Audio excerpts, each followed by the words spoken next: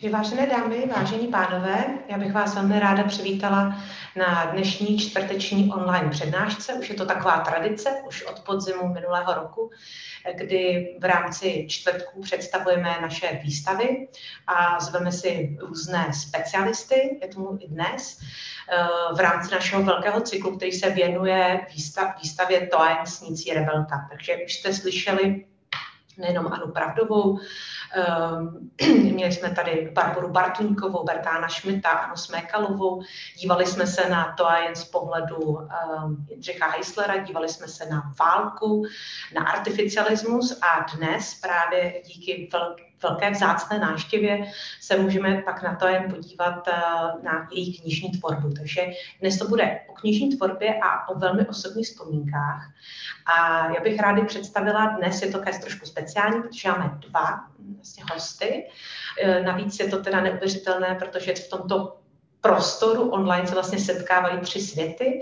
Já tady zdravím paní Anu Pravdovou, která je kurátorkou výstavy, eh, tedy spolukurátorka, protože jsou tam ještě dámy z Německa a z Francie, eh, té naší výstavy Stojensnici Rebelka. Anna Pravdová je dlouholetá kurátorka nejenom sbírky grafiky a kresby, ale není tedy 19. století a klasické moderny a je to takový, taková matadorka a řekla bych Zdenka Braunerová v konzistorii, protože se věnuje hlavně česko-francouzským vztahům a její knihy jsou tedy jako neuvěřitelné jako čtení, které mě vždycky jakoby, nejenom dojme, ale hlavně mě vždycky uh, se překvapí tou bohatou uh, a velmi precizní rešerší. Takže za Anou Pravdovou jdou výstavy, jako je Josef Šíma, Cesta k vysoké hře, František Kupka, Bonjour Monsieur Gauguin, naše Toajen, ale i třeba expozice, jako je první, a první republika.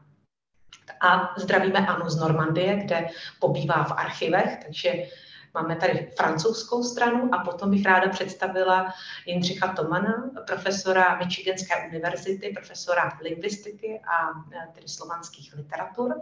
E, Jindřich Toman je tedy taky velká osobnost, e, která tedy studovala na Karlově univerzitě ve Freiburgu. V roce 1968 emigrovala tedy do zahraničí a potom se na začátku 70. let díky stipendu ocitla tedy v Americe, kde vystřídal několik oborů, jak jste říkal tady i na Vltavě, že jste začínal jako lingvista, ale postupně jste přešel k vizuální kultuře a specializujete se tedy na avantgardu.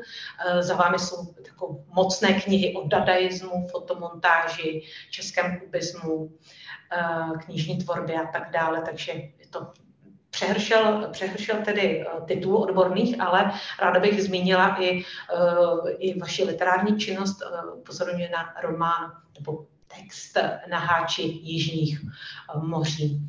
A samozřejmě poslední věc, eh, a to bude ten startovací mostek pro tu eh, první část naší přednášky, která bude takovou diskuzí mezi profesorem Jindřichem Tomanem a kurátorkou Anou Pravdovou. Budou to osobní vzpomínky, protože Jindřich Toman je tedy synovcem Jindřicha Heislera. Takže vlastně dnes poprvé tady vítáme i pamětníka v našem cyklu To a já tady předám slovo Aně a panu Tomanovi. Děkuji. Dobrý večer. Já tady uvedu tu krátkou diskusi s Jindrou Tomanem, protože máme to štěstí mít v týmu, který se podílel na katalogu výstavy synovce Jindřicha Heislera, který osobně znal Twajen. A já bych chtěla začít vzpomínkami jenom na úvod tedy uh, Jindro, vaše matka byla teda mladší sestra Jindřicha Heislera, pokud se nepletu o sedm let mladší. A uh, prožívali spolu tedy v úzkém kontaktu celou válku, kdy Twain skrývala Heistara, tak by se chtěla nejdřív zeptat na vzpomínky vlastně na toto období, který se osobně přímo nezažil, protože si se během války narodil, ale jak eh, vlastně, jaké byly vzpomínky rodinné na toto období? No tak samozřejmě to jsem, na to si ne, osobně nepamatuju. Bylo to samozřejmě předmětem různých vzpomínek eh, potom v těch pozdějších letech eh, moje máma eh, o tom několikrát mluvila. Oni, to bylo ehm, jako kritické samozřejmě eh, období nejen pro ně samozřejmě. A mm, Jindřich Heisler byl členem surrealistické skupiny, stal se jim v tom kritickém roce 38 ta skupina chvilku ještě do toho 41. jakž tak se mohla i poloveřejně nějak ukazovat, ale mm, ty následující léta to bylo vlastně mm, Heisler v podstatě nechtěl jít, abychom to řekli velice jednoduše, šel do, eh, začal skrývat, že nechtěl jít do koncentračního tábora.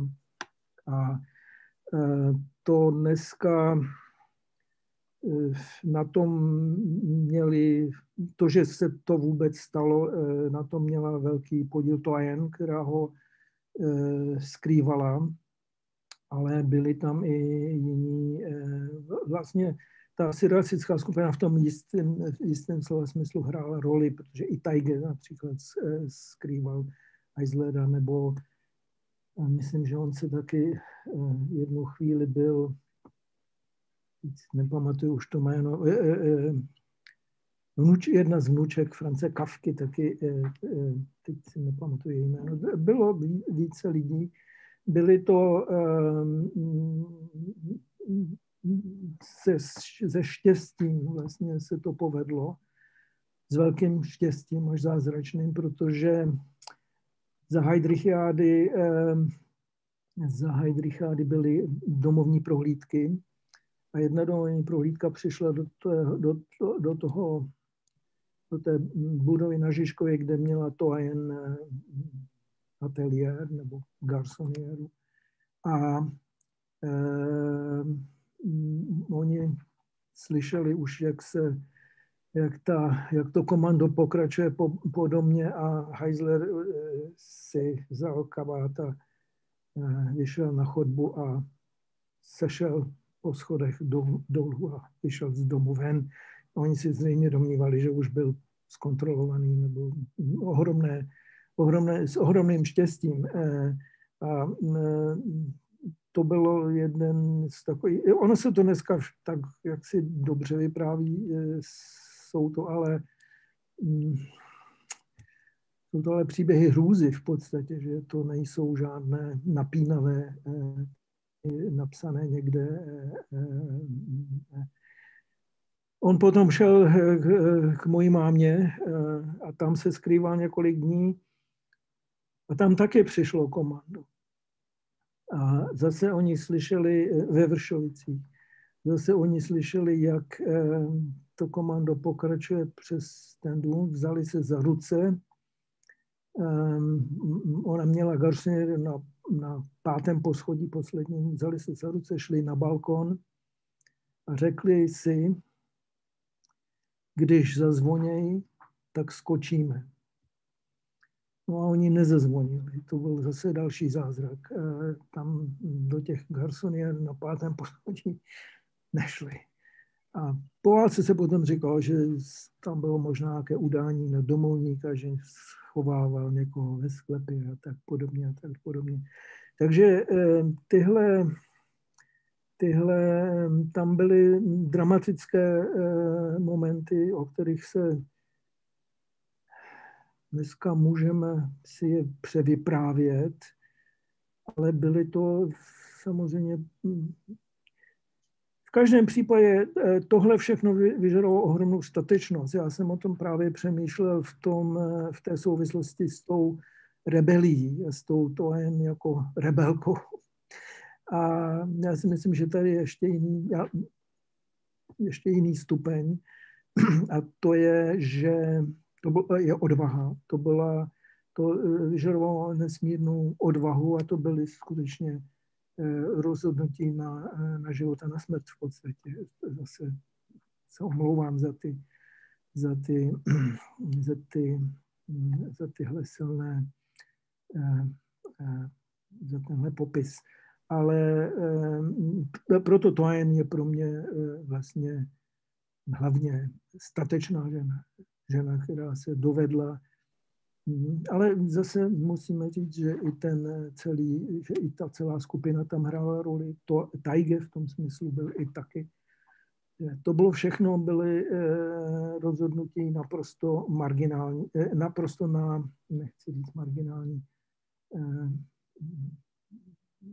to byly v podstatě existenciální rozhodnutí, protože kdyby nebyly tyhle dva zázraky, o kterých jsem mluvil, tak i celá ta syriacká skupina by asi za války byla, eh, byla zničena, protože to, nebyly, eh, to nebylo jinak možné. Jiný takový okamžik odvahy, jako u Toajen, jestli to tak můžu říct, ale taky jsme samozřejmě o tom později mluvili, a abych řekl pravdu, rebelie tam byla taky. Ehm, to jen mě eh, vozila v kočáře, když jsem byl dítě. A podle důvěryhodných svědků říkala, řekni hovno. Takže ona byla jedn, jedn, jedním z mých prvních takových rebelantských eh, učitelů ale mm, to byly maličkosti. Ona takový eh, moment odvahy, který bych zase eh, tady viděl, bylo, že v tom roce 47 oni se, oni se rozhodli odejet. Oni se rozhodli nevrátit se, že Heisler a, a, a Toen se jeli do Paříže a byla to politická emigrace v podstatě. No, samozřejmě tam byly různé eh, okolnosti, tam se organizovala výstava surrealismu a tak dále a tak dále, ale ten základní moment byl, eh, potom jsme o tom samozřejmě mluvili, protože oni přišli za mou mámou a řekli, my jedeme pryč, my se nevracíme, pojď s náma. Ona řekla, no to je těžký, já tady mám dítě a tak dále a tak dále a tak dále, tak zůstala. Že? Ale mezi námi tedy nebylo nikdy pochybnosti o tom, že, že to byla politická emigrace. Už babička říkala, babička říkala, Jindra to měl všechno načtení. Myslela tím Jindřicha Heisler. Ale to tak byla taková zkratka, protože oni, oni přece jenom byli v těch politicko-kulturních kruzích oni viděli, co se děje, viděli, co se děje kolem nich a, a tak se rozhodli prostě už vlastně rok před únorem. To bylo, a asi nebyli, určitě nebyli jediní, kteří to tak chápali, ale ta odvaha tam byla odjet. Já říkám odvaha, protože to jen bylo už skoro 50, že to nebylo zase tak jednoduché eh, eh, přerušit všechno a, a, a odjet. Ale eh, to, byla, to bych považoval za takový zkrátka jiný akt odvahy jiného druhu, ale to, to jsme v, jiné, v jiném tak já, já k tomu můžu dodat, že co vím od, dal, od dalších svědků, kteří znali osobně Twain, hlavně Annie Lebrun, s kterou jsme spolupracovali, že pro Twain bylo přátelství opravdu na prvním místě, takže byla opravdu ochotná pro těch, těch několik vyvolených, který byli opravdu její blízcí i nasadit život, o čem svědčí tedy ta zkušenost mhm. válečná. A mhm. jak té emigraci, ještě bych měla dva dotazy, které se, jsou to takové informace, které se tradují, ale nejsou potvrzené. Vy možná z rodiny máte k tomu víc informací. E, za prvé se traduje, že před válkou chtěla Twain s Heislerem tak utéct do Argentíny a že těsně po válce taky měla namířeno do Ameriky. Tak ví, ví se o tom něco v rámci no, rodinné historie? Před tou válkou, tak to byla, e, tam oni viděli, co se samozřejmě děje, tak začátkem, ještě e, krátce po té po 15. březnu, po té definitivní okupaci, se dalo ještě vyjet chvilku. Eh, bylo to možné. A oni, oni skutečně eh, vytvořili, to byla moje máma Heisler, babička, teda jejich matka a Toajen, eh, si se rozhodli vycestovat, já si myslím, že do Chile, ale nebo do Argentíny, abych řekl pravdu, už si to nepamatuju. A dali hodně peněz nějakému konzulovi, který jim měl od, eh, obstarat víza. A ten konzul zmizel. Eh, tak a, po, a někdo mi před pár lety říkal, víš, takových konzulů tehdy bylo v Praze několik, hmm. takže je někdo ošiděl nebo podved. To byl aspoň jeden element, tak jsme si o tom povídali. Asi hmm. to, v tom toho bylo mnohem víc. Ale a, ano, a po válce, když přijeli do Paříže, to bylo v roce 47 a možná i předtím, byly tam různé úvahy, protože New York se stával eh, velkým centrem, bylo to bohaté centrum, bylo to přitažlivé centrum a tak dále. Ta eh, válečná výtvarná emigrace tam byla přijatá, že tam bylo ohromná, ohromné množství Eh, avantgardních eh, umělců eh, za války, Breton byl tam taky za války, tak tam byly nějaké kontakty. A to jen potom říkala, no, ona se o tom moc nevyjadřovala. Ona říkala, no, oni tam nejsou žádný kavárny. Hmm. v New Yorku, což se změnilo mezi tím, ale eh, možná, že tehdy měla pravdu. Takže hmm. tam to byly takové eh, to vyplývalo z toho částečně si myslím, že oni byli eh, tím 48. roce odstřihnuti od jakékoliv české finanční podpory. Že? To jen nebyla chudá žena eh, až do toho roku 48. Takže hm, tam víc, víc k tomu nemám co. Mm-hmm. Já teda Přejdu k tomu pařížskému období, předčas běží, aby, aby vyšlo také na přednášku.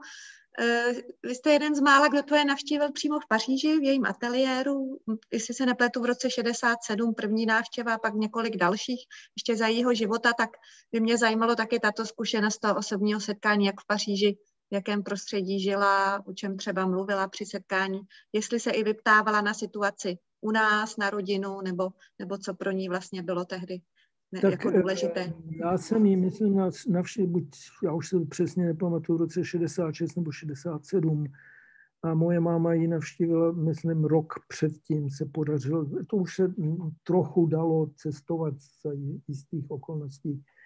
Ehm, takže eh, to jen byla eh, si samozřejmě ehm, O, o čem si povídali s mojí mámou, to, to vám neřeknu, ale eh, eh, já, když jsem tam přijel, tak eh, to je zase osobní vzpomínka. Eh, první, co eh, udělala, mě popadla a postavila mě před obraz mýtu světla, který tam měl. Je, myslím, máte ve výstavě taky. Já jsem tomu nerozuměl vůbec, protože ona říkala mit světla, tak jsem pochopil po chvíli, že tím už mluví napůl francouzsky. A ona mimochodem taky e, vždycky o sobě mluvila v, e, e, v ženském rodě. Ona nikdy neřekla, já jsem byl. Hmm. Ona vždycky říkala, jsem byla. To jenom tak, že si na to vzpomínám. A mm, postavila mě před ten obraz a zkoumala, mm, ten, na tom obrazu je profil Jindřicha Heislera. Teď ona zkoumala, jestli máme stejný profil, protože tam byla za války diskuze o židovském nosu. A ona chtěla vidět, jestli mám stejný profil, protože Heisler by se skrýval, tak eh, ke konci války se odvažoval jsem tam jít ven večer, ale aby se poarizoval, teď si strkal hodinové péro do nosu. Takže tam byla jistá taková domácí diskuze o tom, o tom nosu. A to byla taková vlastně rodinná vzpomínka na to. Ale to jen um, o době staré moc nemluvila. No, ona nebyla takový, eh, řekněme, ani Ona taky ani moc nepsala, abych řekl pravdu. Ona, její, její, její ta síla byla v výtvarném výrazu. Takže když jsem jí snažil se říkat něco o současné situaci, to bylo ještě před rokem 68, tak, tak si to tak vyslechla a potom mě řekla, jestli chci bílý rum. Mm-hmm. Tak mě dala sklenici bílého rumu, což jsem pochopil, že je Bacardi. to bylo, to bylo, ne.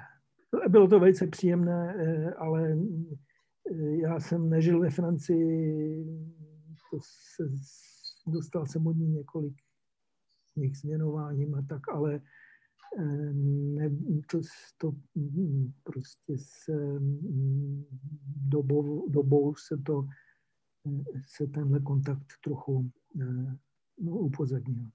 A ona tehdy bydlela v bývalém ateliéru Andreje Bretona, je to tak? Já to přesně nevím, co to bylo. Eh, bylo to Rifonten 42A.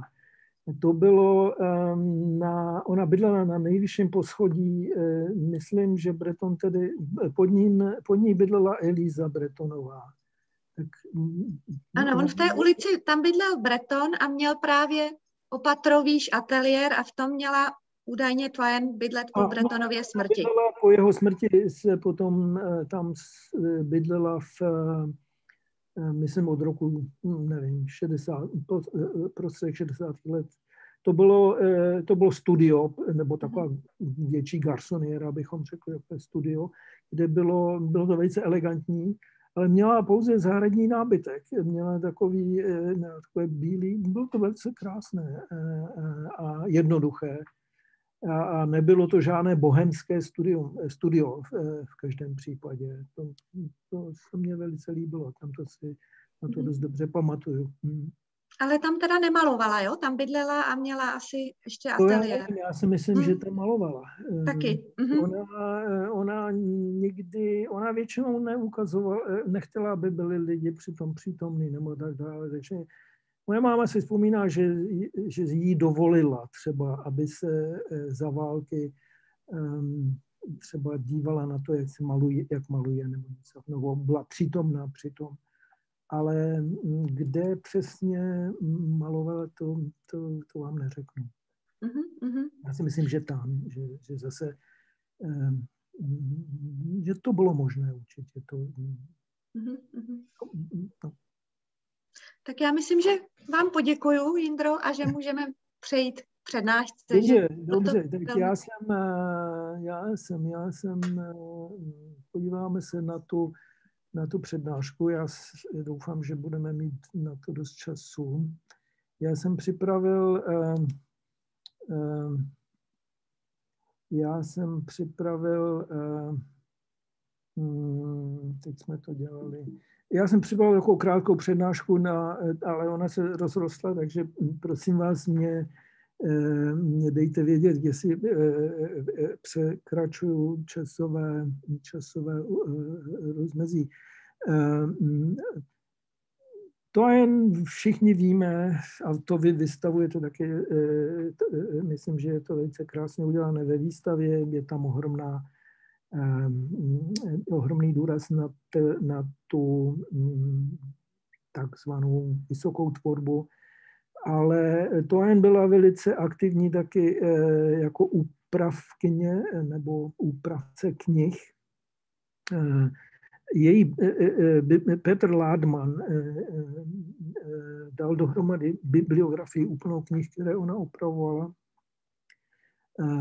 a to je skoro, myslím, 600 položek nebo něco takového.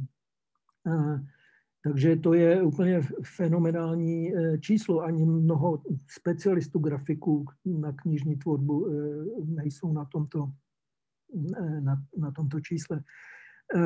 A teď já, moje tvrzení je, že to nebylo nic marginálního, že to nebyla ani komerční nějaká taková druhá kolej, že si tím přivydělávala nebo něco takového. Já si myslím, že ta knižní tvorba její je, je, eh, byla velice vědomá a mm, nutno říct ovšem, zase abychom to dali na nějakého kontextu, že ta, mm, ten konec 19. století, možná i ta obrozenecká tradice a tak dále, a tak dále, v té české kultuře knihu, eh, měla ráda knihu a, a považovala ji za něco eh, důležitého v tvorbě kultury, vzdání a tak dále. Tak, to všechno víme.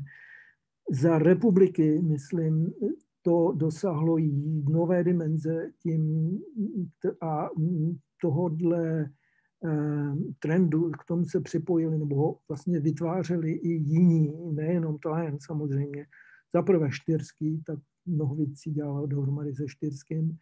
A potom tady vzpomeňte se na Josefa Čapka, na muziku, potom i na takové designery, jako byl třeba, já nevím, řada prostě. A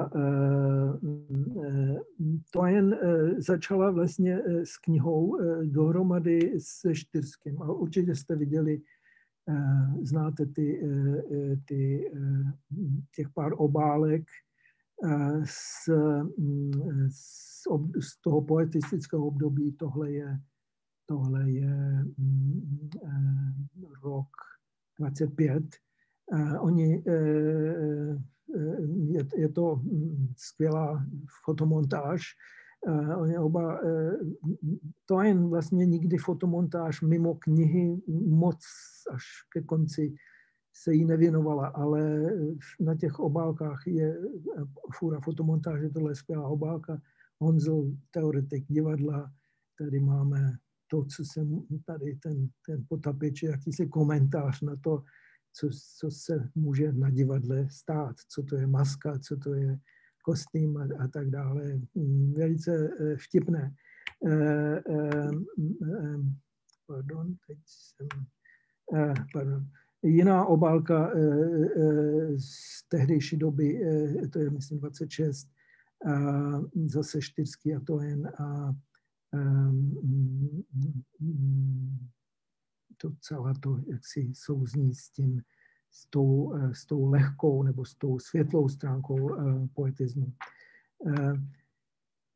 V, když se vrátili z Paříže, tak tam, teď vidím, že je to příliš velké, uh, ne, Štyrský napsal takový esej, který ukazuje, jmenuje se to, myslím, teď si to jméno jsem, jsem, jsem měl poznamenat, ehm, to je inspirovaná ilustrátorka, tak nějak eh, se to jmenuje. Teď ten citát je z toho. A to ukazuje, že oni věděli dobře, co to je eh, dělat knihu, co to je ilustrovat knihu, co to je ta grafická úprava a jakou roli v tom mají eh, výtvarní umělci. Štyrský tam uvádí termín inspirovaný ilustrátor, tedy můžeme si to přečíst, co to je, kdo to je, je více vzrušen osobností básníkovou, atmosférou jeho díla, než vnější fabulí, efektivními gesty a literárním žánrem.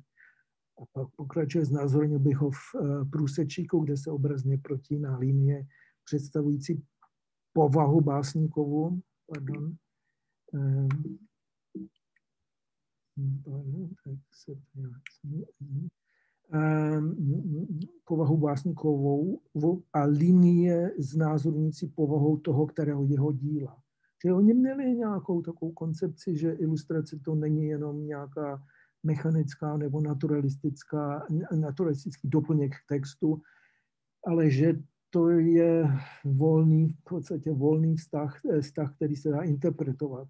Já jsem to někdy nazýval, tuhle ilustraci, eh, kolustrací, jako, eh, eh, aby se zdůraznilo, že to jsou vlastně dvě částečně nezávislé probíhající linie v té knize. Moc velkou školu ten termín neudělal, ale já si myslím, že v podstatě není to ilustrace a kolustrace, když dovolíte.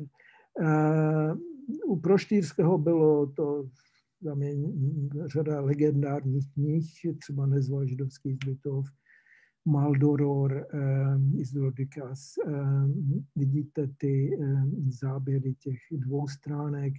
Ta ilustrace není, se nedá považovat za nějakou mechanickým spodobněním nějakých dějů v tom, v tom textu. To byl jejich přístup. Takže tady píše Štyrský spíš o sobě jiné máj, třeba z roku 36, tak tohle v máji nenajdete samozřejmě, abychom to řekli vulgárně. A co, to, do toho okamžiku on píše o to a jen, o, o sobě vlastně. Ale přechází k to jen a říká, to jen podařilo se vytvořit jakýsi typ moderní milostné ilustrace. V jejich kresbách nacházíme především jedinou zálibu. Zálibu v, dílč, v dívčí kráse. To je 1932. A to je velké téma samozřejmě a k tomu se vrací řada komentátorů a ten obraz ženy, dívky a tak dále. A, a samozřejmě potom i Eh, různá soukromá, eh, eh, ta, ten soukromý, ta soukromá úroveň, soukromý plán, že erotika, sex, až i pornografie, to všechno to je, tady je vlastně ta ilustra, tou ilustrátorkou dívčí krásy. Někdy je to ve veřejných knihách tady je to dosti, iž bych řekl, legrační, to je maximum, kam mohla dojít. Tady si podívejte na ten klíč v zámku. E, jindy to bylo explicitnější, e, píseň písní 31.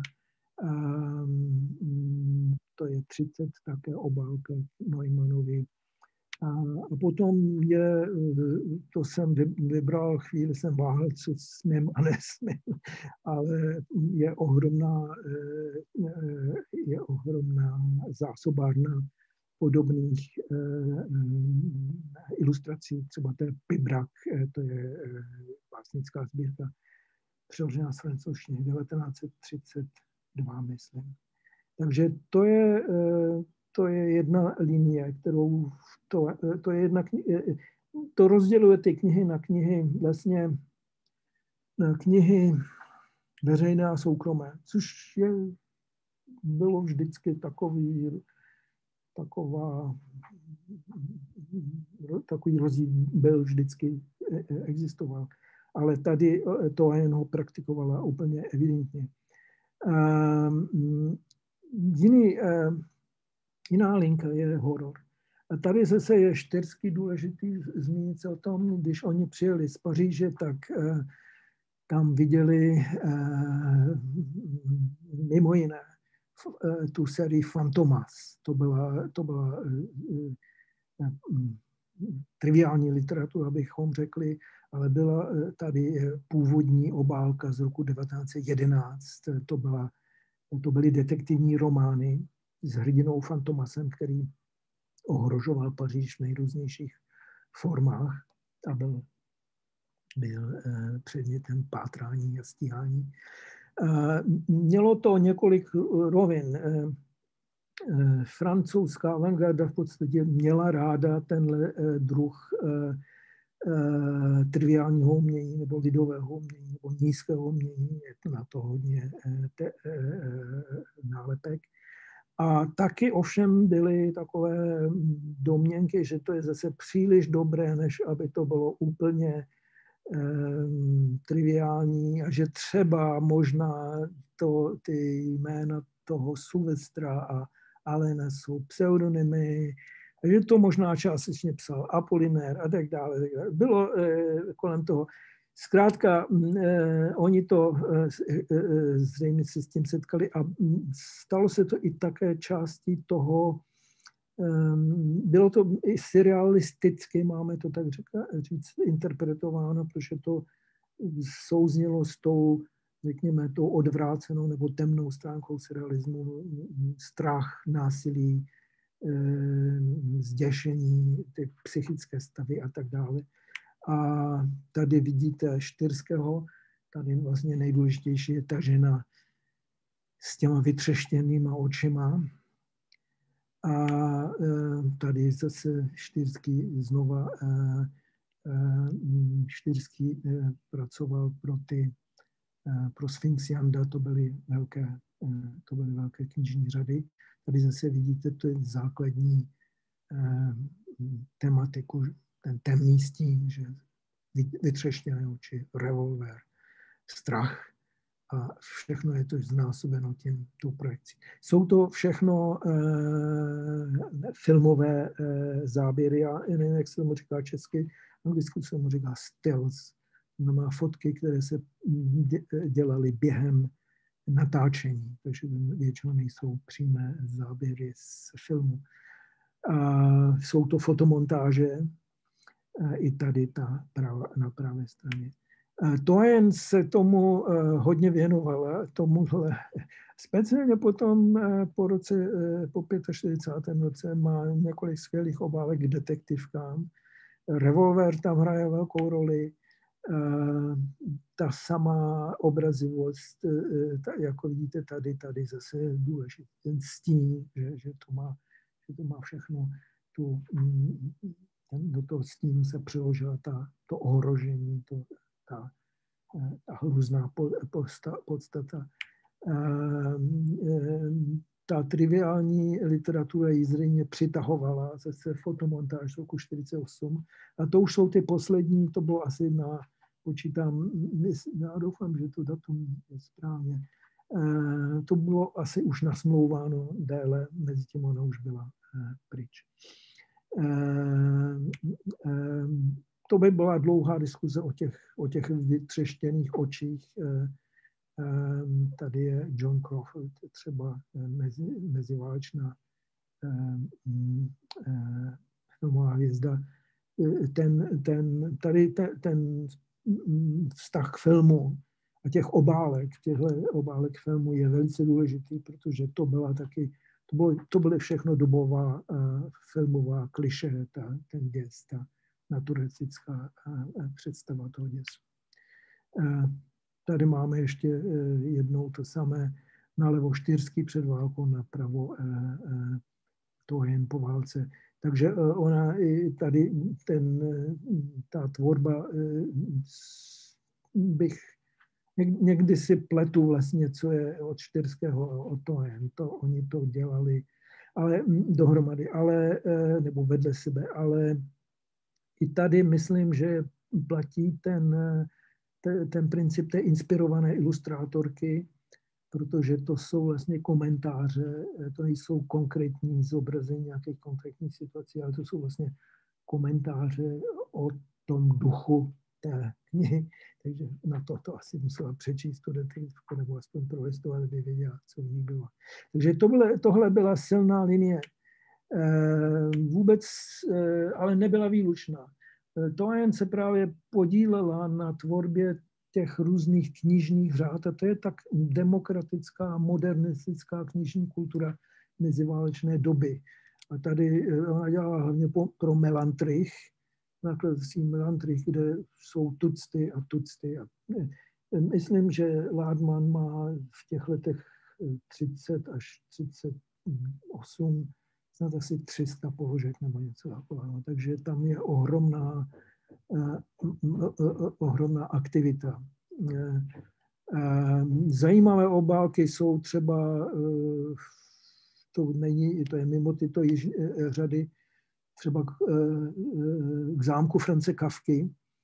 Tady vám tedy toho moc neřeknu, protože já si myslím, že tohle spíš by byla dobrá ilustrace na, na proces od Kavky.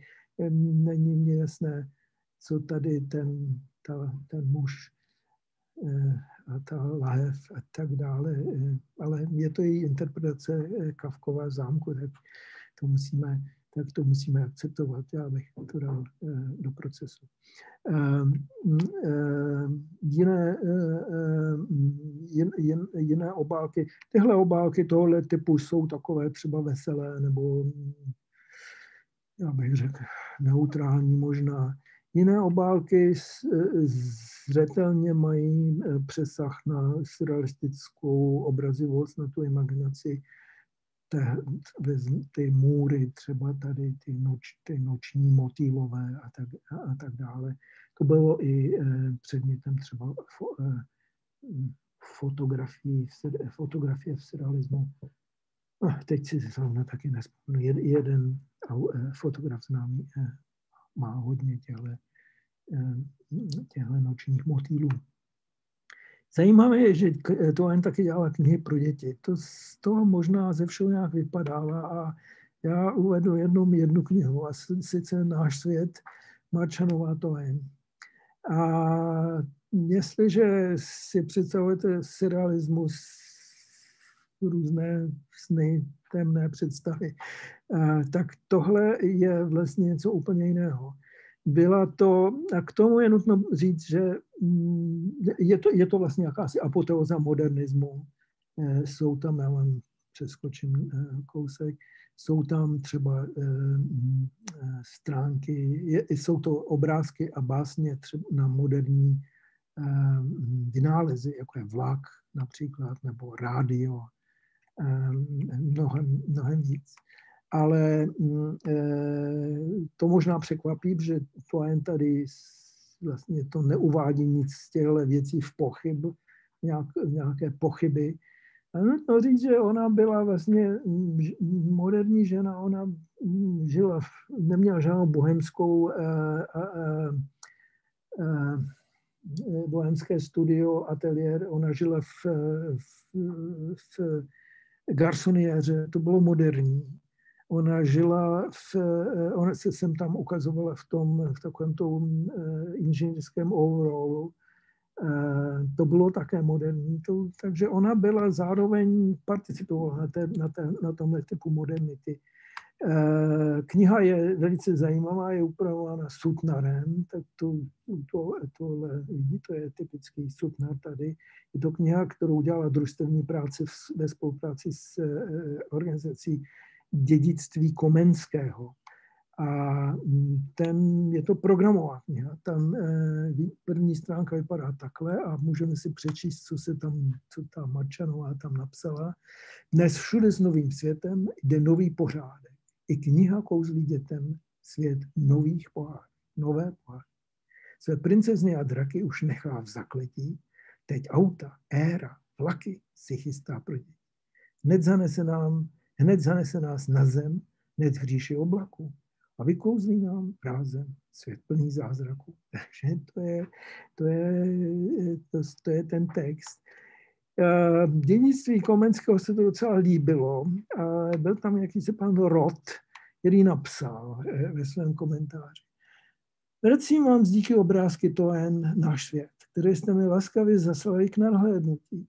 Svůj úsudek o nich mohu vyjádřit i podobně, jako jsem učinil již ústně u vás, že totiž obrázky jsou v celkem dekorativní, dobře vyplní plochu, svou jednoduchostí jsou dětem přístupné, barevně jsou dobře vyvážené, takže lze předpokládat, že se budou dětem líbit. A teď to přijde.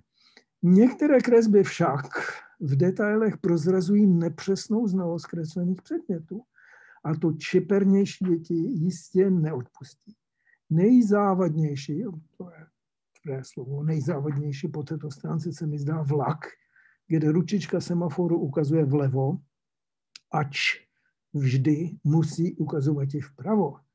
Také tvar ručičky je u železničních semaforů jiný než na obrázku. A dále, obrázek rádio, ač je jinak velmi pěkný, má anténní stožáry podivného tvaru. Osa antény je nad spojnicí vrcholu stožáru ač by měla být níže. A soustředné kruhy symbolizují, jakoby, rádio, jakoby rádiové vlny se šířily od vrcholu stožáru, ač stožáry jsou izolovány a vlny se šíří z antény.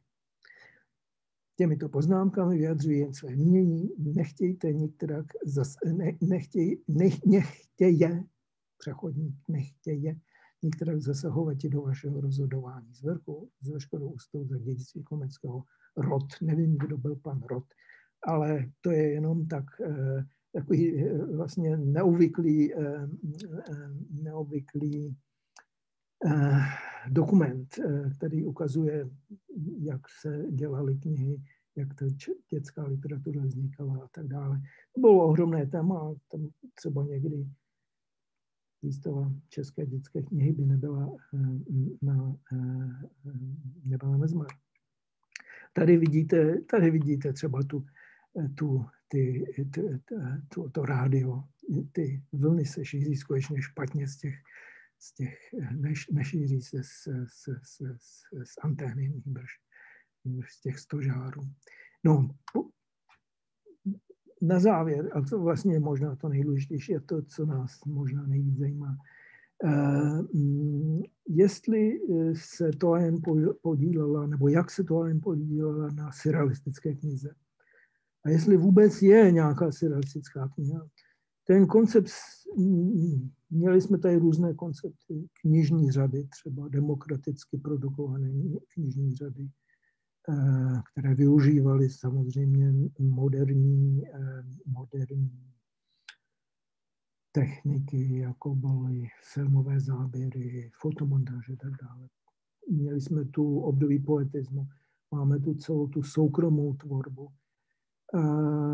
Myslím, že se dá v tyhle různé kapitolky, že se dají celkem uzavřít, ale otázka je, jestli vůbec kdy existovala nějaká surrealistická kniha. Oni i, i ve Francii třeba, každý bylo, bylo mnoho knih, které eh, psali, eh, které eh, vytvořili surrealisté, třeba ve Francii a i u nás tedy, ale Eh, možná nějaký jednotný koncept není. Možná to, co je společného, je, eh, že mnoho z těch knih eh, byly, vznikalo ve spolupráci třeba i ve v těch francouzských příkladech.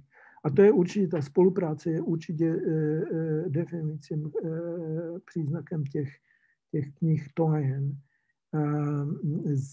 ona, zde ona spolupracovala hlavně s Jindřichem Heislerem a to všechno začíná už vlastně eh, v 1939, už pravděpodobně za okupace, kdy prvním příkladem je kniha, která je, má kuriozní historii, která se skrývá pod vydáním francouzského nakladatele Alberta Skýry, ale byla tištěná a vyprodukovaná v, v Českosloven, v okupovaném Československu, možná v Praze určitě. A mm, eh, jak se tomu říká správně česky, eh, eh, přestrojila se vlastně do francouzského tisku, aby prošla cenzurou nebo aby prošla tou distribucí jako import ještě předválečný snad z, z Francie. Mm, Heisler je to jako Henri. A ty texty jsou francouzské. Jestli měla velkou eh, distribuci, těžko říct, já si myslím, že asi vůbec ne. Ideální je eh, náklad je učen 300 výtisky, ale já jsem nikdy neviděl víc než 3, 4, 5, možná 10 číslovaných výtisků. Eh, nešly nikdy, jejich čísla nebyla nikdy vysoká, takže Eh, nevíme, ale byl to, a to je, myslím, vlastně takový poslední, eh, bych řekl, eh, důraz mé přednášky, já bych řekl, byl to opět výraz odvahy, protože oni, ta skupina chtěla ještě za těch změných podmínek pracovat, být viditelná a mít i poskytnout i jistý komentář eh, o, o té době, ve které žili.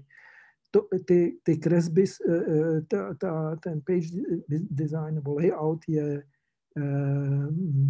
to, kresba Toen a báseň Heislerova k tomu doprovodná, čili to bych řekl je ta kolustrace a ty kresby jsou, eh, kresby to jen většinou, myslím, z roku 37, 38, nebo možná i 9, teď, teď to nevidím jasně. A to už jsou kresby, které z, eh, zřetelně eh, vy, vy, reagují na ten strach, na tu úzkost z, té, z těch posledních let před tou nadcházející válkou. To by bylo v těchto kresbách, eh, které potom vyšly i po válce, eh, třeba je tam zborní střelnice a tak dále, nebo schovej se válko, eh, se dá diskutovat, je tu základní obrazivost, to, to je ten horizont, to je, ten, to je ta poušť, na které leží ty, ty rozpadávající se nebo praskající nebo rozpraskané rozpraskaná torza nebo i obličeje nebo takové postavy tady. A mm, potom jsou tu ty, ty fantomy, které, eh, které vlastně surrealisté měli o tom komplikované představy nebo názory. ale je, se dá se to zjednodušit do těch, do těch do té na ten úroveň, která překračuje ten surrealistický, surrealistickou interpretaci. To je ta úzkost. Jiná podobná kniha vyšla v roce ještě 39, pošto, jen, se to jen poštolky Čína desatero a já ji uvádím, je to podobná zase to jen tam má podobné kresby. Já ji zdůrazím, protože je tu kolofon, e, tedy tyráž té knize. A tam, to, to si přečtěme, ta říká, tato, kni, kri, tato knížka vznikla v dusné atmosféře vojenských povelů jako dokument surrealistické aktivity, kterou nezničí žádná z reakcionářských mocností zmobilizované Evropy. Vyšlo v 15 českých a 40 německých výtiscích na papíře Pankok a tak dále. Jako jsou tisk tak to je velice zajímavý údaj na dvou úrovních. Tady vidíte tu odvahu nebo rebelii, jestli, jestli chcete. Eh, je to dokument surrealistické aktivity.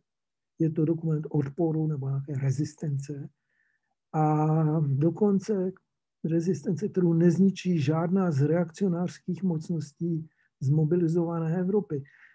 Tady by bylo velice zajímavé vědět, kdy to přesně vyšlo, ale vyšlo to ještě před začátkem eh, útoku Německého na Sovětský svaz. A možná ta, ty reakcionářské mocnosti, oni už byli jinde, že eh, ta skupina politicky, eh, možná, že tady je tím, nejsou tím míněny jenom nacisté, a, a, ale i třeba ten sovětský svaz. Takže tady je pokus. A, a proč to vyšlo, proč to vyšlo německy? Tenhle kolofon se v německém vydání nevyskytuje. Byl pravděpodobně příliš odvážný, protože myšlenka byla zřejmě, to, jak se vypráví, mm, myšlenka tu byla subverzivní, dávat ty německé výtisky okupantům, třeba německým vojákům nebo německým občanům. Nejistě neprodávat. A, takže e, tady je i ta druhá úroveň té, té, té rezistence. Um, nevíme skutečně, kde se to, jak se to dělalo, jak to bylo. Můžeme si to ale představit na základě těchto údajů. No, eh, skončíme, eh, myslím, nejdůležitější, nejzácnější knihou tohoto období a to jsou takzvaná kazemata, z kazemat spánku 41. Jsou to realizované básně a zase je tu, říkali tomu realizované básně a kniha věnovaná Štyrskému. Zvláštní kniha, levá strana je stříbrná, Ehm, Heisler vy, vytiskl tam názvy jednotlivých básní a ty, eh, ty, eh, ty básně, ty, ty stránky vypadají takhle. Bylo to často reprodukováno. Je to poezie Heislerová, eh, zasazená do nějaké reálné scény z malých předmětů, z drobných předmětů, a byly to vlastně takové, to bylo zcela taková doktrinální surrealistická kniha, tam už bych tu ten odpor nehledal, tu rezistenci, to je spíš eh, kniha surrealistů o tom, co to je sen, co to je spánek, co se stál jakou, jaká představivost se ten spánek eh, vyvozuje. Opět bych řekl kolustrace. Eh, zajímavé je, že se na tom podíleli i fotografové, byly, skutečně inscenované. To jsou reálné eh, scény, nejsou to fotomontáže v tom smyslu, takže jsou fotografie aranžovaných situací. Je to mm, vlastně kniha, kterou, je to vlastně nejneobvyklejší kniha v celém ten eh, kapitole, kapitole surrealistických knih. Takže eh, tady bych skončil, jestli je to možné. Ehm, jestli jsou třeba nějaké, eh, tady ještě jedna záběr. Eh, těch, z těch kazemat. Poválečná kniha, o tom myslím, na to jsou jiní specialisté. To, co se, ta knižní tvorba už v Paříži a tak nedosáhla u toho NT tohoto rozměru, ale byla to stále platforma pro nejrůznější její výtvarné experimenty, jsou tam krásné příklady, ale o tom ví, myslím, Anička Pravdová nejvíc. Takže já, takže já tady opravdu končím.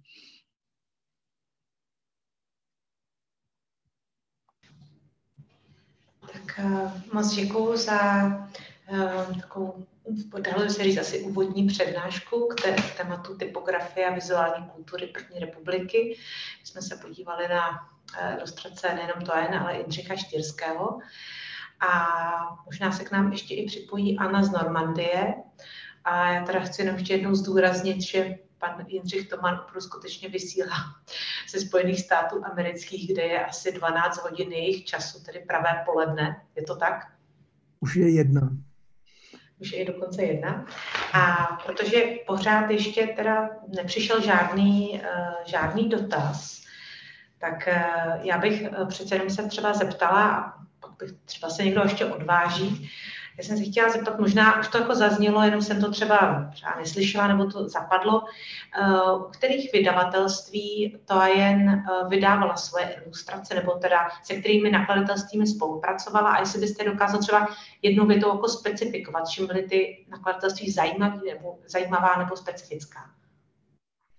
Ona v těch velkých řadách e, spolupracovala hlavně s Melantrichem. To bylo, to bylo, kolos nakladatelství. Štyrský spolupracoval se nakladatelstvím Sphinx Janda, to byl taky nakladatelský kolos, ale oni nebyli vázáni nějak, nějakými vý, výlučnými smlouvami, ale ten, třeba ty obálky, které jsem ukazoval, třeba ten Kafka, to nebyl, to nebyl Melantrich, ale je, byly tam ty, ty knižní řady. Já si myslím, že ta myšlenka byla, že ty knižní řady mají mít moderní vzhled. Knižní řada je starý pojem, že to už tady bylo dávno, ale tady bylo mm, potřeba ty knižní řady modernizovat, používat fotografie, používat fotomontáž, používat ty, ty filmové eh, záběry a, a tak dále. Tam je, Melantrich měl pravidla jistá a, a zřídka, kdy uváděl e, e, autora úpravy. Takže mnohdy se to musíme jenom domnívat, ale mnohdy to jen signovala e, písmenem T. Takže víme, že to jí dovolili. Ale oni v tiráži nikdy neuváděli, neuváděli ale je to celkem jasné. Ta spolupráce s tím soudružstevní práce tím Komenského byla, to bylo spíš výjimečné, ale jak si tady vidíme, že kvantita a kvalita jsou dvě různé věci. A spolupracovala, uh, pan profesor, a spolupracovala i s nějakými menšími, takovými těmi exkluzivnějšími nakladatelstvími typu Marian Storch nebo Odeo nebo něco podobného? Nebo no, ve, ve 20. letech um, Odeon jistě, ale Odeon um, se dostal do, ty, ty první dvě obálky, které jsem ukazoval, jsou Odeonky, ale Odeon se dostal do, um, v podstatě zkrachoval a v těch 30. letech už jenom přežíval, takže tam um, byla tenhle vývoj a a um, Štorch Marian taky vlastně zkrachoval, že tam, tam ale myslím to ani nic, nic nedělal. Muzika dělal eh, pro Štorcha Mariana. To byl velice zajímavý podnik, velice, velice exkluzivní a, a, a náročný, a, a, ale myslím, že to jen pro Štorcha Mariana nic nedělá, jak si tak vzpomínám. Mně se právě na výstavě vždycky uh nebo dost často se mě lidi ptají, čím se vlastně jako to jen živila, že mohla se tolik jako cestovat a na těch fotografiích je vždycky skvěle jakoby oblečená. A já jsem právě někdy četla, že právě ty knižní obálky a ta typografie ji vlastně jako živila. Jste toho téhož názoru? tak eh, jistě to byl zdroj příjmu, ale já bych, já bych to právě nepovažoval jenom za takovou nějakou vedlejší komerční linii, protože tom bylo příliš mnoho, oni i čtyřský investovali příliš mnoho nápadů a myšlení. To nebyla do, do, té, do této tvorby. E, ta tvorba je obsáhlá, to je pravda, ale mm, já si myslím, že to jen, eh, tak na to možná máte i jiné specialisty, ale že to jen hodně prodávala své, své obrazy, že ona byla sbíranou eh, malířskou nebo umělkyní už za republiky. A potom tam byly různé rodinné okolnosti. Myslím, že třeba zdědila dům po své sestře, které, který prodala nebo něco takového a tak dále. Takže tam, eh, takže eh, já bych to nepovažoval za nějakou takovou jenom utilitární záležitost, jak si přivydělat nebo jak si vydělat nebo něco takového. No. A já mám ještě takové jako To byla taková trivializace, jako že by se řekl, mm-hmm. tak je to na kšeft nebo něco takového. To bych, to bych nepřijal. To, to tak ale ne, nebylo míněno, jenom spíš jako vlastně dotaz na ty, na, ty, na ty zdroje, protože nevím, jestli se dneska typografie a obálka mi dá úplně uživit, i když to prostě budete dělat skvěle. Mhm. A pak jsem se chtěla zeptat... Tady krásný katalog například. tak ten ukážu úplně velkého. Na závěr. Já jsem se chtěla vlastně zeptat, eh, jestli jste se třeba někdy zabývali tím, jak eh, třeba to jen ty obálky jako vytvářela, jestli měla nějakou třeba databázi eh, fotek, které používala na koláž nebo z filmů, nebo jak vlastně, jak to technicky probíhalo třeba. Určitě oni oba sbírali štyrský, měli, měli, měli bychom tomu řekli, nějaké archivy, nebo eh, eh, jako to je, eh, mm, to dobíhalo, myslím, i v Paříži, kdy se tam, kdy tam se, kdy ona tam vytvářela taková alba, do kterých si vystřihovala různá, různé motivy, různé takové obrázky z reklam, z denního tisku a tak dále. Eh, určitě to, to myslím při té eh, produkci to jinak ani nešlo. Já si myslím, že oni museli mít nějaké, ale eh, jako informací o tom velmi málo.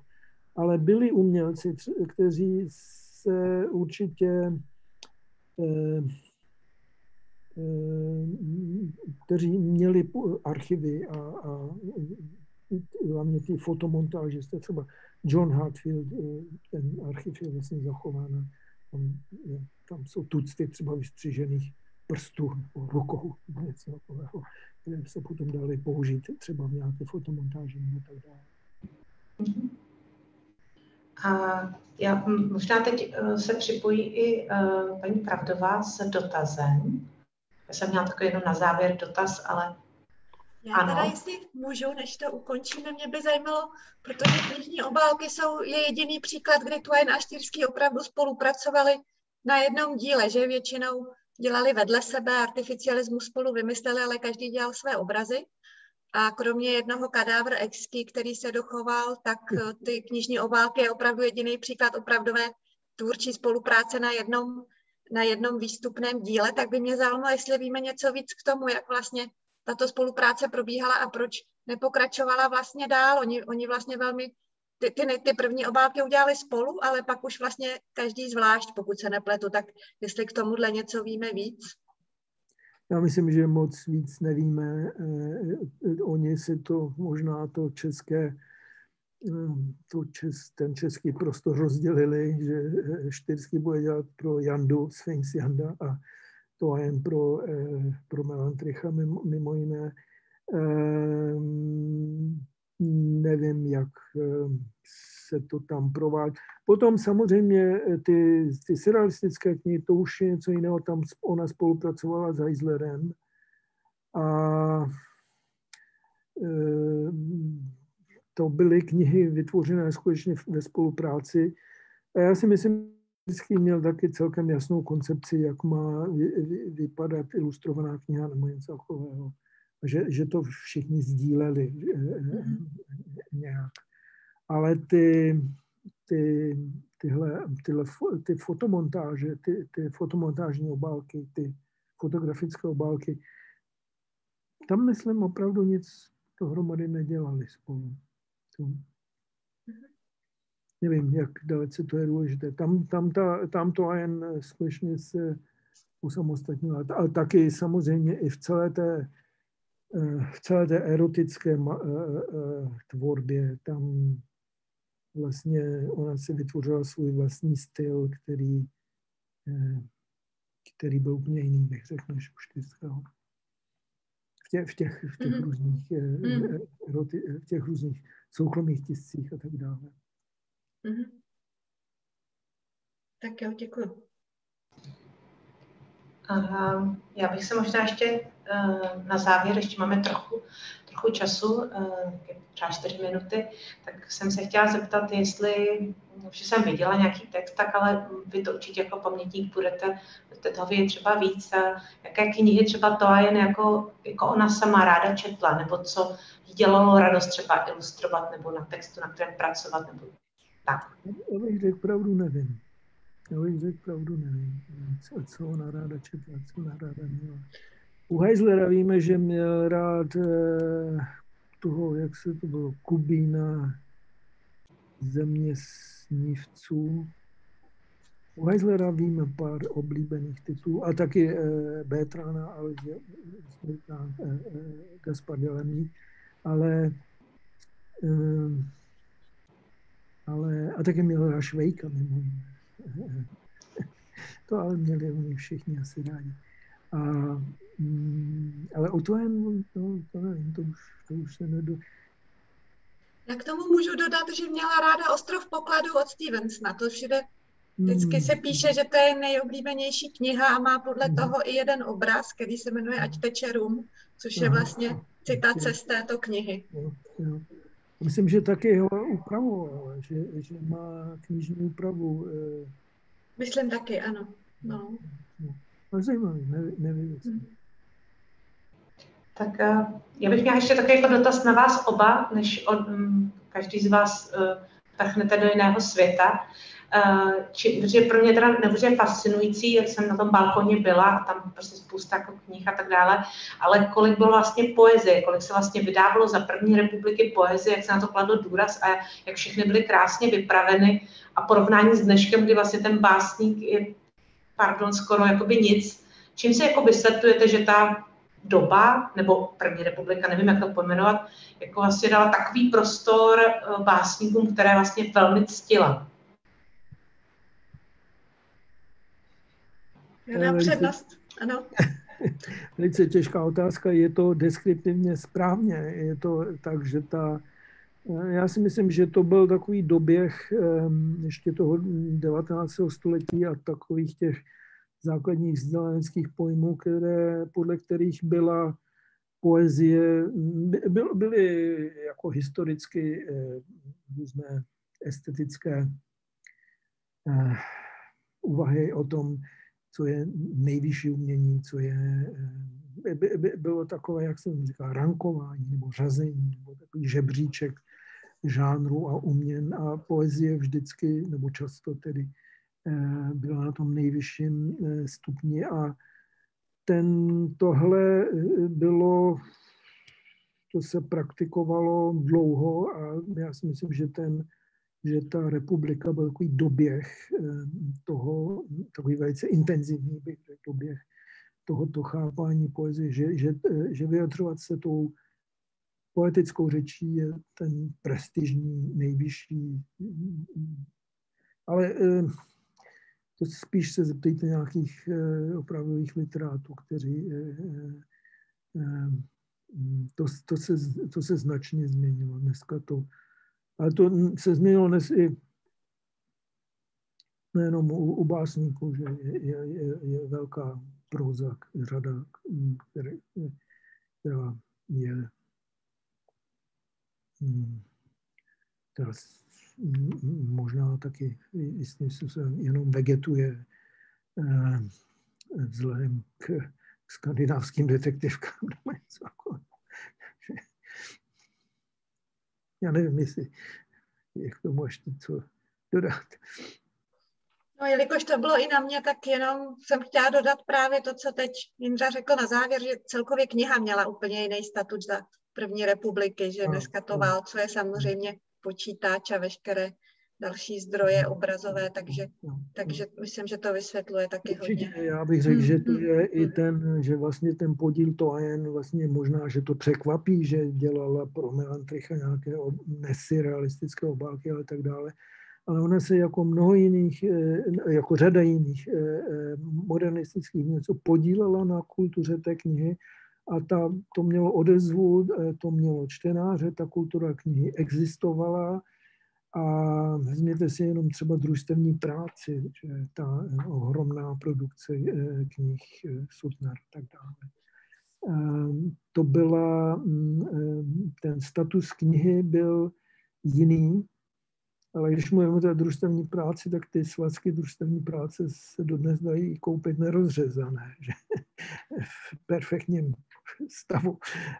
Ale to, ta kniha, ta, byla tady ještě to pojetí vzdělání a kultury, které vycházelo z té tištěné formy z knihy a, a tak